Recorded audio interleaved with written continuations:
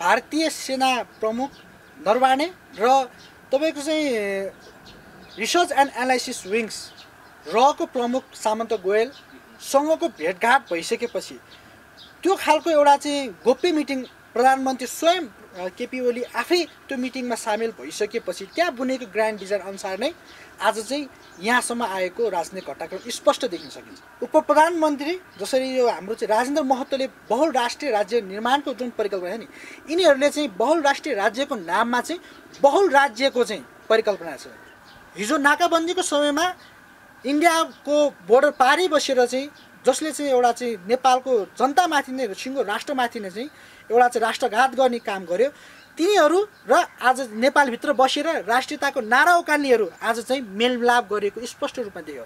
त्यही व्यक्ति हुन् आज प्रधानमन्त्री जसले चाहिँ नेपालमा रहेर चाहिँ मैले राष्ट्र राष्ट्रियताको नारा उकालेर मैले नाकाबन्दी भारतीय विस्तारवादीहरूसँग चाहिँ हाम्रो राष्ट्रियता कहिले पनि झुक्न दिने छैनौँ भनेर चाहिँ नेपाली जनतालाई छ छ महिनासम्म चाहिँ दुःख कष्ट भोग्न बाध्य बनायो। विद्रोह गर्नको लागि अब हामी सशक्त देशभक्ति भावना भएका युवाहरूलाई जमातलाई वैचारिक राजनीतिक र सांस्कृतिक रूपमा एउटा खालको चाहिँ प्रशिक्षण गर्नेछौँ र त्यो प्रशिक्षणबाट नै एउटा तयारी हुनेछ र दर्शकबिन्दहरू यति बेला हामीसँग कुराकानीको लागि परिवर्तनका लागि हाम्रो आवाजका अध्यक्ष साधन विश्वकर्माजी हुनुहुन्छ। आज हामी पछिल्लो समसामयिक राजनीतिक घटनाक्रममा केन्द्रित रहेर कुराकानी गर्नेछौँ। स्वागत छ सर यहाँलाई। धन्यवाद।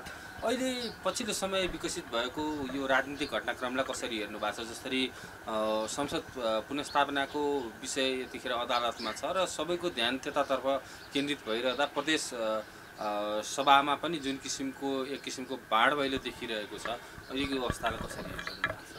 अ, पछिल्लो राजनीतिक घटनाक्रमलाई हेर्ने हो भने एउटा देश एउटा दुर्घटनाको मोडमा पुगिसकेको छ र पुस पाँच गते पश्चातका राजनीतिक घटनाक्रमहरू र आज जेठसम्म आइपुग्दाखेरिको राजनीतिक घटनाक्रमलाई हेर्दाखेरि यो सबै घटनाका र परिघटनाले के देखाएको छ भन्दाखेरि अहिलेका नेतृत्व र शासकहरू नेपाली जनताप्रति जवाफदेही नेपाली जनताप्रति उत्तरदायी नेपाली जनताप्रति चाहिँ एउटा खालको चाहिँ पारदर्शी छैनन् भन्ने कुरा स्पष्ट रूपमा हामीले बुझ्न सक्छौँ। र समग्र राजनीतिक नेतृत्वहरूलाई हेर्ने हो भने यिनीहरू चाहिँ असफलताको एउटा चाहिँ पराकाष्ठ भन्छु म त को रूपमा हामी बुझ्न सक्छौँ। किनभने कम्युनिस्ट पार्टी असफल भइसक्यो अब। डेफिनेटली अहिले भएका अहिले गर्दै आएका नेतृत्व गर्दै आएका काङ्ग्रेसभित्रका वरिष्ठ नेताहरू माओवादीभित्रका वरिष्ठ नेता भन्नेहरू र एमाले भित्रका वरिष्ठ नेता भन्नेहरू यति बेला चाहिँ असफल भएका छन् भन्ने कुरा यो पछिल्लो राजनीतिक घटनाक्रमले स्पष्ट पारिदिएको छ। यहाँ राजनीतिक संसदीय व्यवस्थामा नेपाली जनता यो बेलाको एउटा चाहिँ कोरोना भाइरसबाट चाहिँ आक्रान्त भयभीत त्रसित र आतङ्कित भइरहेको यो परिस्थितिमा जनताको सुरक्षालाई कसरी ग्यारेन्टी गर्ने जनताको स्वास्थ्य सुरक्षालाई कसरी चाहिँ सुनिश्चित गर्ने भन्ने भन्दा पनि यहाँ आफ्नो राजनीतिक भविष्य मात्र सुनिश्चित कसरी गर्न सकिन्छ भन्ने जुन एउटा चाहिँ राजनीतिक यात्रामा लागिरहेछन् यो चाहिँ गैर राजनीतिक तवरबाट जसरी गइरहेका छन् यो घटनाहरूलाई परिघटनालाई हेर्ने हो भने चाहिँ अहिलेका नेतृत्वहरू असक्षम भनेर हामीलाई भन्न कुनै पनि हिचकिचाहट हुँदैन र अब देशले यति बेला एउटा नेतृत्व र व्यवस्था र एउटा खालको चाहिँ परिवर्तन फेरि पनि मागेको छ आन्दोलन मागेको छ फेरि पनि अब परिवर्तनका लागि आन्दोलनको लागि तपाईँहरू पनि तयार हुनुहुन्छ। तयारी अवस्थामा छन् यतिखेर नेपाली। हामी मात्र होइन समग्र देशभक्ति भावना भएका नेपाली जनताहरू यति बेला यो नेतृत्व अहिलेका शासकहरू प्रतिको वितृष्णा र यिनीहरूले गरेका काम कारबाही र कर्तव्यहरूको जुन खालको तरिकाले जनताप्रति निष्ठावान र जनताप्रति समर्पित भएर गर्नुपर्ने जो कामहरू छन् यिनीहरूले नगरिसके पश्चात जनताहरू यति बेला चाहिँ सिङ्गो यो व्यवस्था र यो राजनीतिक दलहरूप्रति नै एउटा चाहिँ चाहिँ वितृष्णा जाएको अवस्था छ। तर बाबुराम भट्टराईले नि भने नि अब एउटा टेलिभिजन अन्तर्वार्ता दिँदै उहाँले चाहिँ के भन्नुभएको छ भन्दाखेरि अब ठुलो यहाँ चाहिँ ग्रान्ड डिजाइन भइरहेको छ। गम्भीर सङ्कट आउँदैछ मुलुकमा भनेर त्यो राज संस्था र हिन्दू राष्ट्रपति इङ्गित गरेको भनेर नि व्याख्या विश्लेषण भइरहेको छ नि यतिखेर। होइन डेफिनेटली हो। अहिले यो पुस पाँच गते पश्चात र पुस पाँच गतेभन्दा अगाडि पुस पाँच र दुई हजार सत्तरको कार्तिक र पुस पाँचभित्र भएको जुन भारतीय सेना प्रमुख नरवाणे र तपाईँको चाहिँ रिसर्च एन्ड एनालाइसिस विङ्स रको प्रमुख सामन्त गोयलसँगको भेटघाट भइसकेपछि त्यो खालको एउटा चाहिँ गोप्य मिटिङ प्रधानमन्त्री स्वयं केपी ओली आफै त्यो मिटिङमा सामेल भइसकेपछि त्यहाँ बुनेको ग्रान्ड डिजाइन अनुसार नै आज चाहिँ यहाँसम्म आएको राजनीतिक घटनाक्रम स्पष्ट देख्न सकिन्छ। त्यो बेलाको ग्रान्ड डिजाइन मुख्य त के हो त भन्दाखेरि नेपाली जनताले लामो बलिदानीपूर्ण सङ्घर्षबाट प्राप्त जो राजनीतिक उपलब्धिहरू छन् सङ्घीयता धर्मनिरपेक्षता गणतन्त्र जो अहिलेको यो शासन व्यवस्था छ यो व्यवस्था माथि नै प्रहार गर्ने गरी जसरी चाहिँ त्यो ग्रान्ड डिजाइन बुनिएको छ त्यो ग्रान्ड डिजाइनको कडीको रूपमा चाहिँ अहिले केपी ओलीले प्रयोग गरेका चाहिँ यो चाहिँ के भने यसलाई चाहिँ एउटा चाहिँ उप उपज हो। यो अहिलेको राजनीतिक घटनाक्रम चाहिँ त्यो बेलाको रहको सँगको प्रमुखसँगको मिटिङ पश्चात भएको ग्रान्ड डिजाइनको चाहिँ अहिले उपज मात्र हो। तर यो उपजले के गराउँछ त भन्दाखेरि सिङ्गो नेपाली जनता र देशलाई नै एउटा खालको चाहिँ दुर्घटनामा पुर्याउँछ भन्ने कुरा चाहिँ हामीले स्पष्ट बुझ्न जरुरी छ। र अहिलेका नेतृत्वहरू जो हामीले असक्षम छौँ भनिरहेका नेतृत्वहरूले साँच्चै यसरी नै अब देशलाई हामीले चाहिँ नेतृत्व चाहिँ मानिरहने हो भने यिनीहरूले चाहिँ हिजो महाकाली बेचे हिजो टनकपुर बेचे होइन?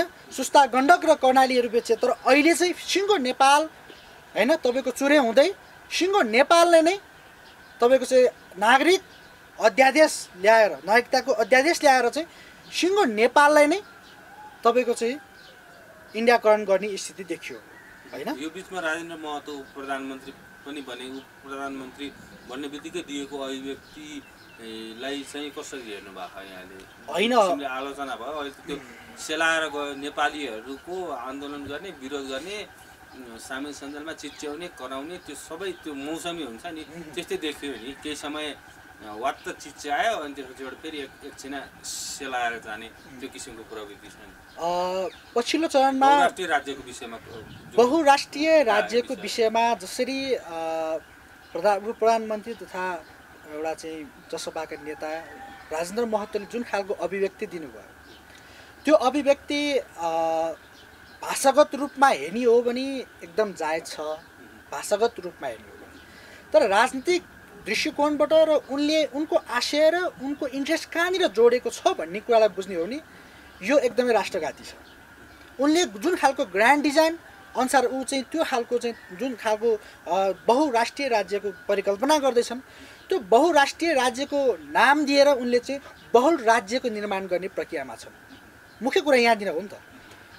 हेर्दाखेरि भाषिक रूपमा चाहिँ बहुल राष्ट्रिय राज्यको परिकल्पना गरिएको छ तर त्यो बहुल राष्ट्रिय राज्यको एजेन्डाको नाममा चाहिँ बहुल राज्यको उनीहरूले चाहिँ ग्रान्ड डिजाइनलाई चाहिँ सक्सेसफुल बनाउनको लागि त्यसलाई सम्पन्न गर्नको लागि गरिएको एउटा ग्रान्ड डिजाइन हो।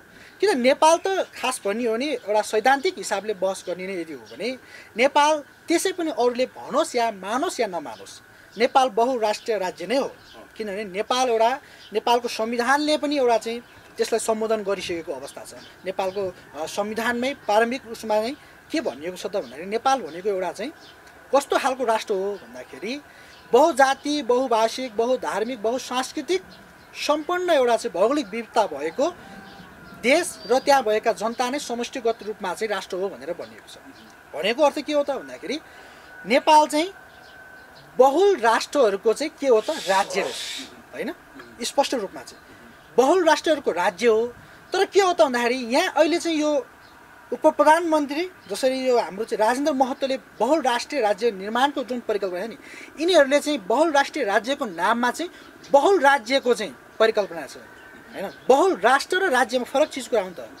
राज्य नेसन एन्ड स्टेट यो दुईवटा चिज एकदमै गम्भीर चिज हो। यो कुरा एकदमै यो बुझ्नुपर्ने कुरा हो क्या हामीले चाहिँ अहिले के बुझाएको छौँ भन्दाखेरि राज्य र राष्ट्रलाई बुझ्न सकिरहेका छौँ क्या राष्ट्रमा जब चाहिँ तपाईँको चाहिँ त्यहाँ एउटा चाहिँ गभर्न हुन्छ सरकार हुन्छ त्यसको एउटा स्वतन्त्रता हुन्छ त्यसको स्वायत्तता हुन्छ राजनीतिक अधिकार हुन्छ त्यहाँ राजनीतिक एउटा चाहिँ संस्था हुन्छ। त्यो संस्थाले नै त्यसलाई चाहिँ बाँधिएको हुन्छ त्यो भनेको स्टेट हुन्छ। त्यो बाँधिएको त्यो राज्यलाई चाहिँ राष्ट्रलाई चाहिँ बाँधिएको एउटा चाहिँ अर्गनाइजेसन हो त्यसलाई चाहिँ स्टेट भनिन्छ। त्यसको एउटा भूगोल निश्चित भूगोल हुन्छ त्यसको निश्चित एउटा सरकार हुन्छ त्यसको निश्चित एउटा चाहिँ संविधान हुन्छ निश्चित त्यसको चाहिँ स्वतन्त्रता हुन्छ सार्वभौम सत्ता हुन्छ त्यहाँ होइन? स्वाधीनता हुन्छ। त्यस कारण त्यसको एउटा पहिचानको कुराहरू जो जोडिएका हुन्छ। त्यस कारणले यो बहुराष्ट्रिय राज्य निर्माणको कुरामा त्यसमा कुनै बहस छैन। तर त्यहाँभित्र भएका जो षड्यन्त्र छ जो तानाबाना बुझिन् बुनिँदैछ नेपालको तराई क्षेत्रलाई चाहिँ जसरी चाहिँ एउटा बिहारीकरण गर्ने जसरी चाहिँ बिहारमा चाहिँ अथवा भनौँ इन्डियाकरण गर्ने जुन खालको प्रपञ्च मचाइएको छ यो एकदमै सशङ्कित छ यो भयानक छ र डरलाग्दो छ। एउटा उदाहरणको रूपमा तपाईँलाई म के लिउँ भने अहिले बहुराष्ट्रिय राज्यको अ, परिकल्पना देखाएर यिनीहरूले चाहिँ बहुल राज्यको निर्माण गर्न सक्ने अवधारणा यिनीहरूले चाहिँ कसरी डेभलप गर्यो त भन्दाखेरि जसरी नागरिकता अध्यादेश जसरी जारी गर्यो त्यो नागरिकता अध्यादेश जारी गरिसकेपछि तराईमा रहेका जन्मसिद्ध नागरिक प्राप्त नागरिक व्यक्तिहरू जो भारतीयहरू छन् जो नेपालको राजनीतिक सामाजिक सांस्कृतिक र यहाँको जो जनजीवन संस्कृतिसँग कुनै पनि लेनदेन कुनै सम्बन्धै छैन तिनीहरूको अभिष्ट एउटै मात्र हो कि जसरी पनि राजनीतिक नेपालको राजनीतिक राज्य सत्तालाई कब्जा गर्नको लागि ल्याएको ग्रान्ड डिजाइन हो भन्ने कुरा स्पष्ट हुन्छ त्यस कारण अहिलेको यो नागरिकता अध्यादेश पनि राष्ट्रहित अनुकूल छँदै छैन भन्ने कुरा हामीले स्पष्ट तथापि पनि नेपालभित्र हिजो हिजो नाकाबन्दीको समयमा इन्डियाको बोर्डर पारी बसेर चाहिँ जसले चाहिँ एउटा चाहिँ नेपालको जनतामाथि नै सिङ्गो राष्ट्रमाथि नै चाहिँ एउटा चाहिँ राष्ट्रघात गर्ने काम गर्यो। तिनीहरू र आज नेपालभित्र बसेर राष्ट्रियताको नारा उकाल्नेहरू आज चाहिँ मेलमिलाप गरेको स्पष्ट रूपमा देखियो। खोक्रो राष्ट्रवादीहरू कहाँ रहेछन् त भन्ने कुरा स्पष्ट देखायो नि त। होइन? हिजोको खोक्रो राष्ट्रवादका ठुल्ठुला राष्ट्रियताको नारा उकाल्नेहरू र सीमा पारी बसेर चाहिँ नेपालका राष्ट्रियतामाथि दावा बोल्नेहरूको आज चाहिँ गठबन्धनको सरकार छ? मैले तपाईँलाई यही कुरा चाहिँ बुझाउँदैछु त। यिनीहरूको ग्रान्ड डिजाइन नै त्यही रहेछ नि त। म कुटेको वस्तु गर्छु तिमी दुखेको वस्तु महसुस गर। भन्ने खालको एउटा जो उखान छ नि त्यही खालको प्रवृत्ति र प्रकृति देखियो नि त। हिजो त्यही व्यक्तिहरू थिए जसले चाहिँ इन्डिया बोर्डर पारी बसेर चाहिँ नाकाबन्दी लगाए।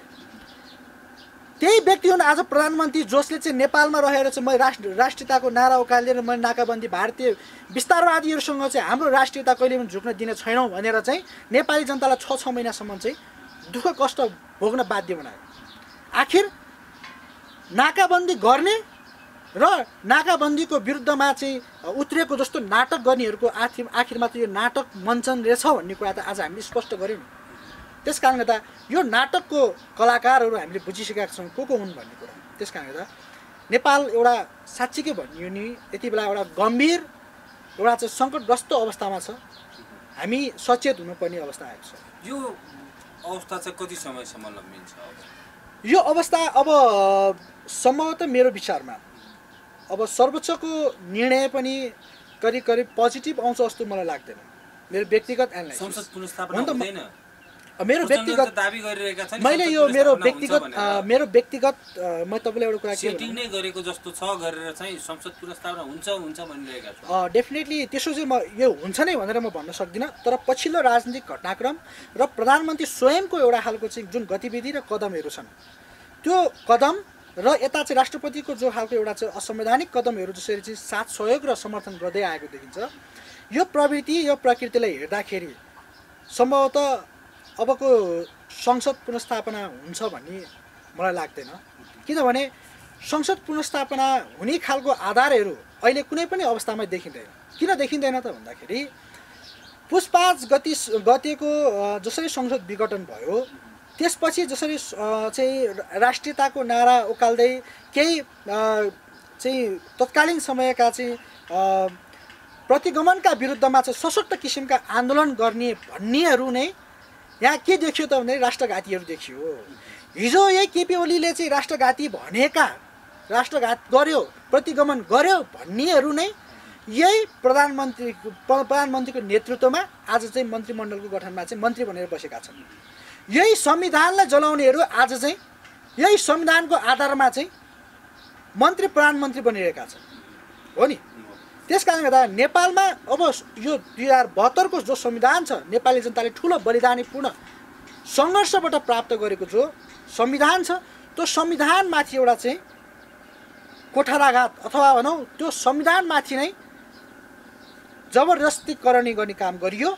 त्यस कारणले गर्दा अब हामी सचेत हुनुपर्छ। किनभने त्यो संविधानबाट प्राप्त जो अधिकारहरू छन् त्यसलाई रक्षा प्रयोग र विकास गर्दै जानुपर्ने सट्टा त्यसलाई पूर्ण रूपमा ध्वंस बनाउनको लागि फेरि पनि प्रतिक्रियावादीहरू जो एकात्मक केन्द्रीकृत शासन व्यवस्था हिजोको राजतन्त्रकै वरपरबाट चाहिँ भइरहेका केही व्यक्ति र पात्रहरू जो छन् तिनीहरूले चाहिँ फेरि विभिन्न अन्तर्राष्ट्रिय राजनीतिक माफियाहरूसँग एजेन्टहरूसँग मेलमिलाप गरेर विभिन्न आफ्नो चाहिँ स्वार्थ परिपूर्ति गर्नको लागि फेरि ती व्यक्तिहरू चाहिँ अगाडि आएको स्पष्ट रूपमा देख्न तर स्पष्ट रूपमा भन्ने हो भने चाहिँ यतिखेर आम सर्वसाधारण जनता त यो व्यवस्था चाहँदैनन् नि।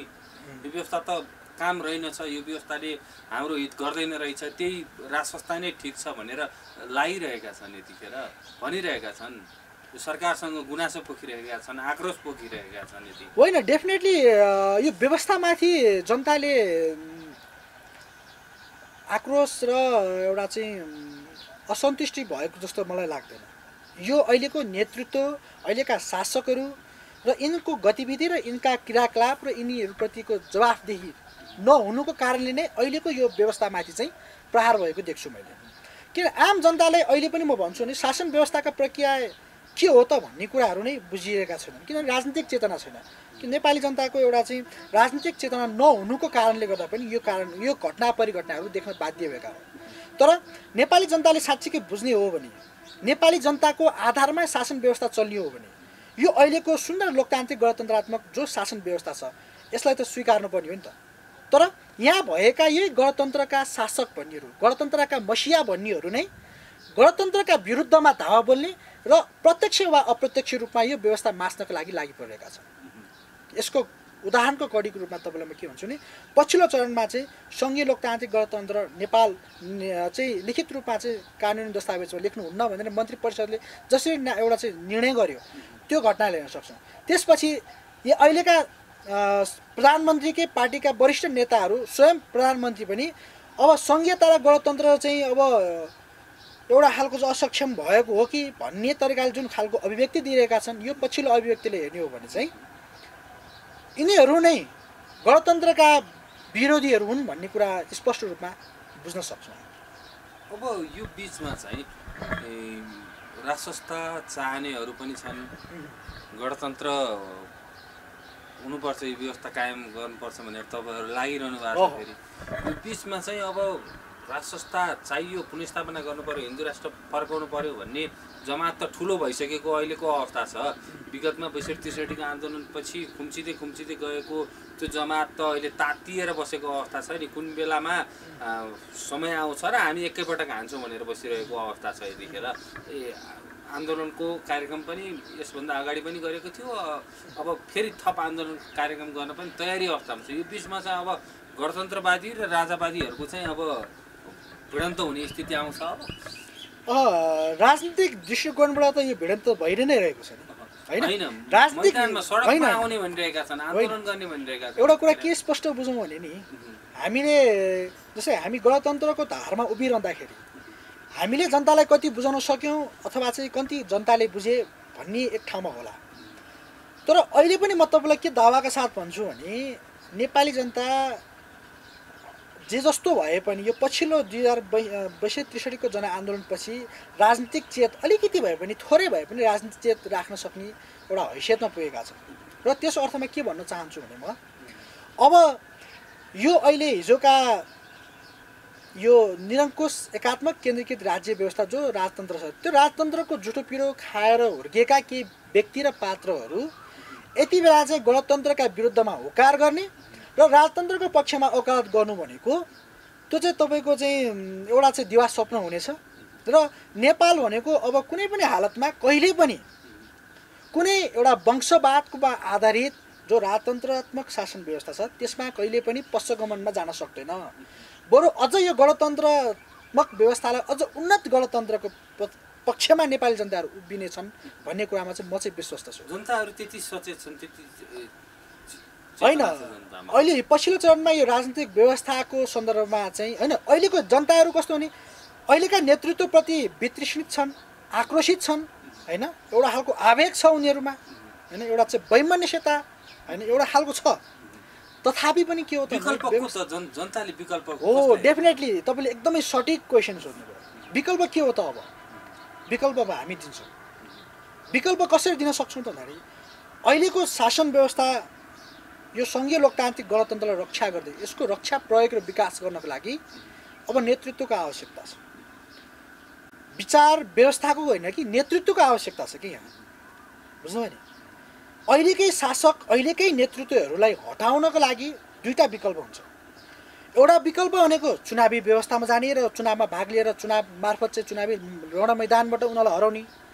अर्को व्यवस्था भनेको यिनीहरूलाई अपदस्थ गर्ने र विद्रोह मार्फत नै हटाउने हो। त्यस कारणले गर्दा कि विद्रोह गर्नको लागि हो डेफिनेटली एकदम एकदम। एकदम। यही हो पोइन्ट यहीँनिर छ कि नेपाली जनता अड्केको यहीँनिर हो। हामी भनिरहेका छौँ कि अब के हामी विद्रोह गर्न तयार हुनु पऱ्यो हेर्नुहोस्। कि चाहिँ फेरि यो असफल हामी असफल हुन्छौँ क्या? किनभने हामीसित विचार मात्र छ।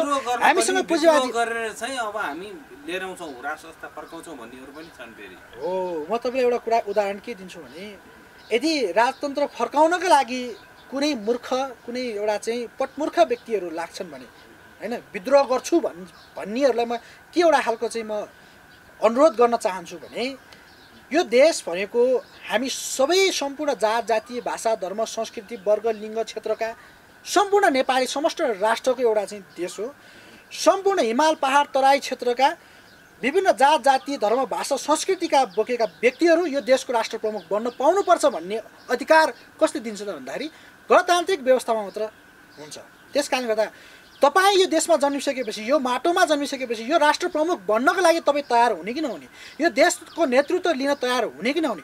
यदि त्यो तयार हुने हो भने हामी साँच्चीकै राजनीतिक कर्मीको रूपमा अगाडि बढौँ साँच्चीकै समाज सेवाको रूपमा राजनीति गर्दै राष्ट्र रूपान्तरणको लागि देशको नेतृत्वको छि- सक्षम बनाऊँ न। किन राजतन्त्रको एउटा वंशवादमा आधारित एउटा वंशको शासन व्यवस्थामा किन हामी चाहिँ तल्लीन भएर चाहिँ लिप्त भएर बस्ने? भोलि तपाईँले विरोध गरिरहनु भएको छ। कथम कदाचित अब राज संस्था पुनस्थापना भयो फर्कियो भने चाहिँ तपाईँहरूको के हुन्छ त्यो त मैले कहिले पनि परिकल्पना गरेको पनि छैन। त्यो हुँदा पनि हुँदैन। किनभने म त्यो परिकल्पना गर्नै चाहन्न। किनभने समाज जहिले पनि अग्रगामी हुन्छ। कहिले पनि पश्चगमन हुँदैन। केही पात्र र केही व्यक्तिहरूले पश्चगमनका पक्षमा वकालत चाहिँ गर्छन्। तर समाज भने जहिले पनि अग्रगमनको बाटोमा अगाडि बढ्छ। त्यस कारणले गर्दा मैले त्यो परिकल्पना म कहिले पनि गरेको पनि छैन गर्न पनि म सक्दिनँ गर्दा पनि गर्दिनँ। त्यस कारणले गर्दा म तपाईँलाई एउटै मात्र कुरा के भन्छु यो सङ्घीय लोकतान्त्रिक गणतन्त्रात्मक राज्य व्यवस्था जो छ यो व्यवस्थालाई चाहिँ रक्षा गर्नको लागि हामी जस्तो एउटा चाहिँ देशभक्ति भावना भएर लाग्ने युवाहरू चाहिँ सशक्त किसिमले अगाडि बढ्छन् तर तर यति मात्र सीमित हुँदैन। यो यो व्यवस्था रक्षाको लागि मात्र होइन। यो व्यवस्थाको रक्षा प्रयोग र विकासको लागि पनि हामी अगाडि बढ्छौँ। अर्थात् अहिले भएका यो व्यवस्थाभित्र भएका गलत प्रवृत्ति विकृति व्यक्ति नेतृत्व हटाउनको लागि अब हामी लाग्छौँ। किन त भन्दा आवश्यकता देखियो नि त। अहिलेसम्म तपाईँहरूले प्रयासै गर्नु भएको होइन हामीले प्रयास गरिरहेका? छौँ। हामीले प्रयास गर्छौँ कुनै पनि कुनै पनि प्रयास एकैचोटि हामीले चाहिँ ठुलो ड्रास्टिक रूपमा गर्न सकेनौँ होला। तर प्रयास जारी छ। किनभने सानो एउटा चाहिँ झिल्को आगोको झिल्को हाम्रो व्यापक रूपमा तयारी छ। के तयारी छैन भन्नुहुन्छ तपाईँले हामी अहिलेको यही अवस्थालाई हेर्ने हो भने अब हामी पछिल्लो चरणलाई सबै कुराको अध्ययन र मध्यनजर गर्दाखेरि अब एउटै मात्र विकल्प देख्छौँ हामी। त्यो विकल्प भनेको विद्रोह विद्रोह गर्नको लागि अब हामी सशक्त देशभक्ति भावना भएका युवाहरूलाई जमातलाई वैचारिक राजनीतिक र सांस्कृतिक रूपमा एउटा खालको चाहिँ प्रशिक्षण गर्नेछौँ र त्यो प्रशिक्षणबाट नै एउटा तयारी हुनेछ र त्यो तयारी नै सबै कुराको निर्धारण हुन्छ। यसलाई सामान्य नसोच्नु होला। किनभने सन्निकट भविष्यमै एउटा खालको क्रान्तिको ज्वाला बल्नेवाला छ। त्यो आगो हतियार उठाउनुहुन्छ तपाईँहरू। देशले माग्यो भने त्यसको त्यो पनि उठ्न सक्छ अब। किन भन्दाखेरि किनभने विकल्प छैन नि त।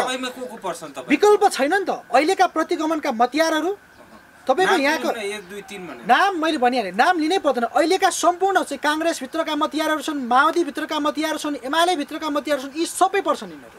किन भन्दा मैले अघि पनि भनिहालेँ यही व्यवस्थाका वकालत गर्ने होइन गणतन्त्रका मसिया भन्नेहरू नै यो व्यवस्थाका विरुद्धमा लागिरहेका छन्। नेपाली जनतालाई सुख समृद्धि र एउटा चाहिँ विकासको सपना देखाएर फेरि पनि आफ्नो नातावाद र कृपावादमा रोमलिने व्यक्तिहरू छन्। भोलि चुनाव हुन्छ ठिक छ। चुनाव मार्फत चाहिँ लडाइँमा रणमैदानमा होम्यौला तर त्यो लडाइँ निश्चित रूपमा हार हुनेछ क्रान्तिकारीको किन भन्दाखेरि अबको लडाइँ भनेको पुँजीबाजी लडाइँ हुनेछ। पुँजीबाजी जसको पुँजी हुन्छ उसले नै चाहिँ यहाँ चाहिँ धाँधली गरेर साम दाम दण्डभेद प्रयोग गरेर चाहिँ त्यो निर्वाचन जित्नेछ। त्यसो निर्वाचन पनि निष्पक्ष र स्वतन्त्र हुन्छ भन्ने कुनै पनि आधार देखिँदैन। होइन? यो परिस्थितिले हेर्दाखेरि त के देखिन्छ त भन्दाखेरि अब विद्रोह भन्दा विकल्पै छैन। कि चाहिँ हामीले चाहिँ प्रतिगमनलाई स्वीकार्नु पर्यो? यही गलत प्रविधिलाई स्वीकार्नु पर्यो होइन? यिनीहरूकै यो चाहिँ हामी दास हो भनेर चाहिँ यी शासकहरूको दास हो भनेर स्वीकार्नु पर्यो। आफूले आफूले दासत्व स्वीकार गर्नु पर्यो होइन दास बन्ने होइन भने हामीले क्रान्ति र विद्रोह गर्नु अर्को आन्दोलनको गर्नु तयारी गर्नु विकल्प छैन। कि चाहिँ कि चाहिँ सशक्त किसिमले एउटा खालको देशैभरि खालको चाहिँ एउटा खालको मुभमेन्ट गरेर होइन अबको आउने चुनावमा चुनावी मोर्चालाई पनि हामीले साथसाथै अगाडि बढाउने हाम्रो योजना छ। त्यसको खाकाहरू हामी तयार गर्दैछौँ र त्यसको खाकाको सन्निकट भविष्यमै हामी एउटा खालको प्रपोजल तयार गरेर जनता सामु जानेछौँ। यदि चुनाव मार्फत पनि त्यो खालको वातावरण एक एउटा एउटा चरणको चुनाव मार्फत पनि त्यो हुने खालको वातावरण भएन भने चाहिँ अन्तिम विकल्प भनेको विद्रोह नै हो क्रान्ति नै हो। त्योभन्दा अरू विकल्प देखिँदैन। हस् यहाँले धेरै धेरै धन्यवाद यो समय संवादको लागि। अन्तिममा केही भन्नुहोस्। म सम्पूर्ण नेपाली जनताहरूलाई के अनुरोध गर्न चाहन्छु भने यो बेलामा एउटा राष्ट्रघात भइ नै सकेको छ। त्यस कारणले गर्दा यो राष्ट्रघातीहरूका विरुद्धमा सशक्त किसिमले आवाज उठाउनको लागि एकजुट हुनको निमित्त म हार्दिक अनुरोध गर्न चाहन्छु। धन्यवाद।